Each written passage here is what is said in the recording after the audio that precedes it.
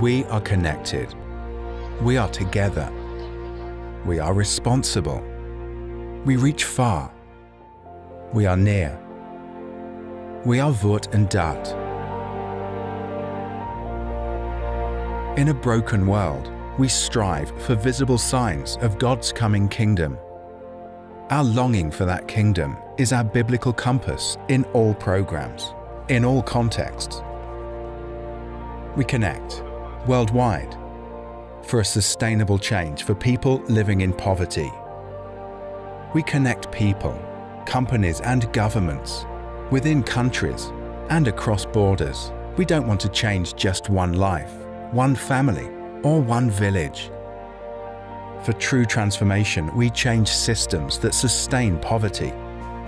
For instance, the system that maintains unfair water allocation for farmers in Ethiopia, or the violent system of street gangs in Guatemala, which makes it impossible for young people like Carla to build up a safe future. Together with our partners, we bring about real change through our programs of agricultural development, education, sustainable water, and job booster. And lives are changing.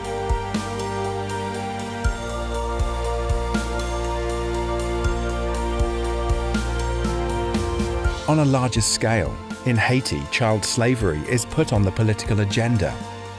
And on a smaller scale, Deho has a good harvest and is able to feed his family. Far away, Badatu hears a biblical story at school every morning. And nearby, her colouring picture of this story is received by her sponsors in the Netherlands. We are Daad. We reach far. We are near. We are Badatu, Carla, and Dago. We are volunteers, entrepreneurs, churches, and sponsors.